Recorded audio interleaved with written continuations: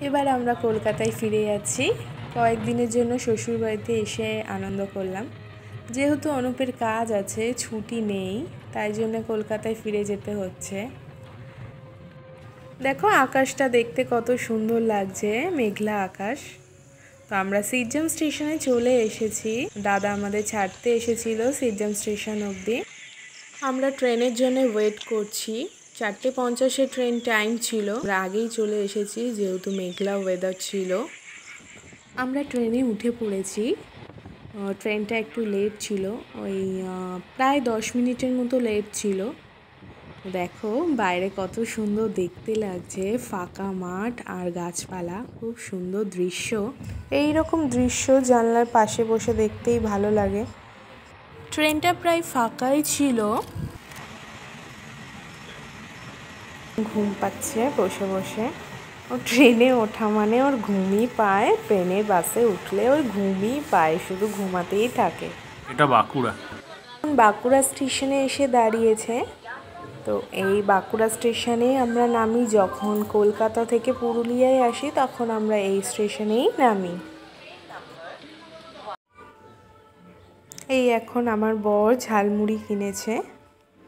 ঝালমুড়ি খেতে আমার খুবই ভালো লাগে।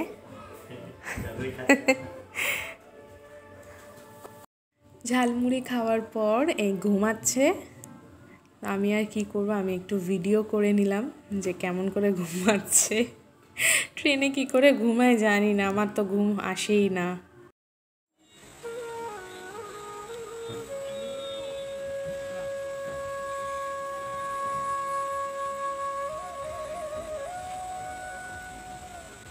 বেশি যাবে না ওদিকে। আমরা এখন ট্রেন থেকে নামলাম সাঁতরাগাছিতে। বাবু দেখো। দেখা যাচ্ছে তোমায়? আমি তো দেখতে পাচ্ছি না সামনের দিকে দেখছি। মা বাবা নিতে চলে এসেছে। আমাদের ট্রেনটা অনেকটা লেট যাচ্ছি। বাবা মা দাঁড়িয়ে আছে অনেকক্ষণ দিয়ে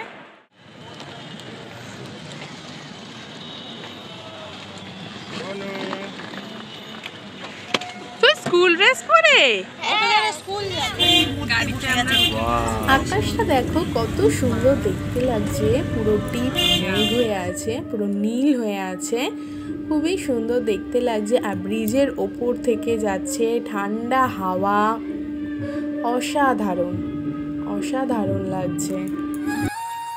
বৃষ্টি চলে এলো, দেখো। খুব জোরে বৃষ্টি হচ্ছে, দেখে বোঝাই যাচ্ছিল মেঘটা যে খুব জোরে বৃষ্টি হবে। তো প্রচণ্ড জোরে বৃষ্টি হচ্ছে।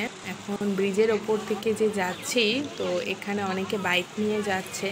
যারা রেনকোট পরে আছে, তাও ঠিক আছে। যারা রেনকোট পরেনি, তারা পুরো ভিজে গেছে। কেউ দাঁড়াতেও পারছে না। ব্রিজের ওপর আর কোথায় দাঁড়াবে? মানে ব্রিজের ওপর যদিও দাঁড়ায়, তো কোনো কিছু তো গাছপালা বা কোনো কিছুই তো নেই যে বৃষ্টিতে ভিজবে না।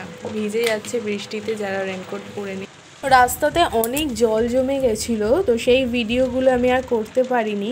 প্রচুর জল মানে এক হাঁটু মতো তো জল হবেই রাস্তাতে, এতটাই বৃষ্টি হয়েছে।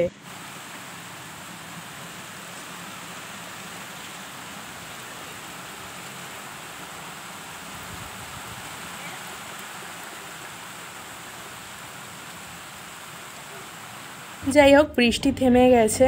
দেখো, রাস্তায় এখনও অল্প অল্প জল এখানে আছে। তো আমরা বাড়ির কাছে পুরো চলে এসেছি, একদম বাড়ির সামনে।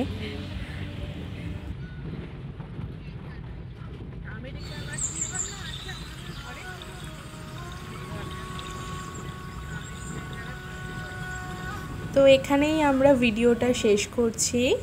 আবার অন্য কোনো নতুন ভিডিও নিয়ে আসব। তো টাটা!